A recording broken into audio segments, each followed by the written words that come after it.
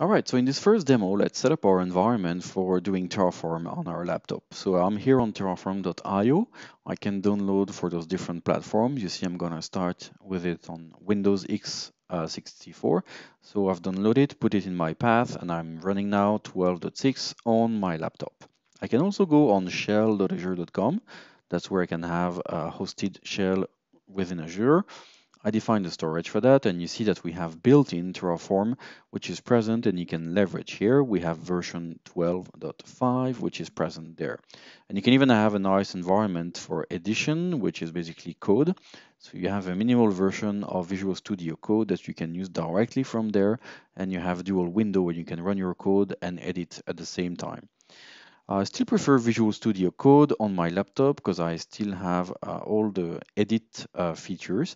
So now I'm creating um, a directory here. I'm going to put my main.tf file and you see that as I change it, I have uh, the color coding of my extension and I have the extension installed. So now I can have autocomplete uh, for my environment.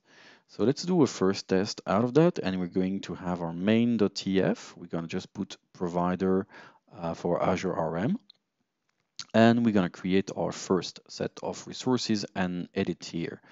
So you can have the Terraform hub to get started with some code. So you have uh, install and configure the platform.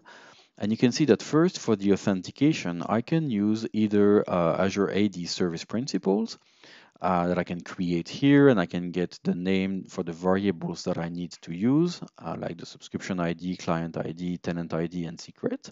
Or I can rather just reuse the current Azure CLI authentication context, which I'm going to do here.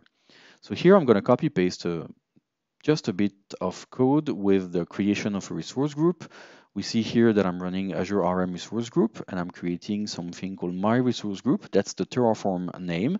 And the technical name deployed on Azure would be test resource group inside the West US region. So now I can have my uh, terminal uh, down.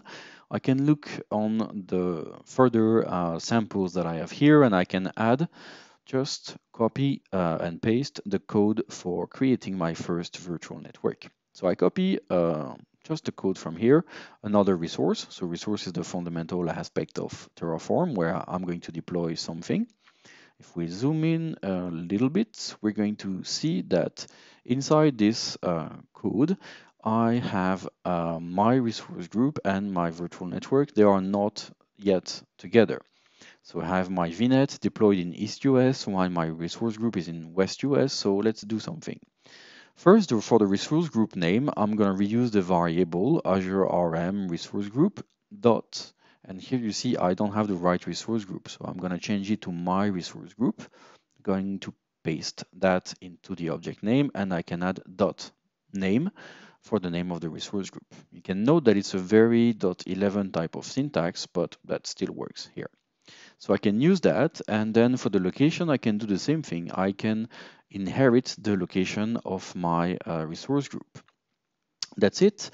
Uh, that's what I have for my configuration of my environment. I can add uh, the tagging for the resource group so that I have a consistent uh, type of tagging for this environment. And I can say that I want it to be environment equal Terraform um, demo. So that's my uh, little environment. Let's do and execute that into the next demo.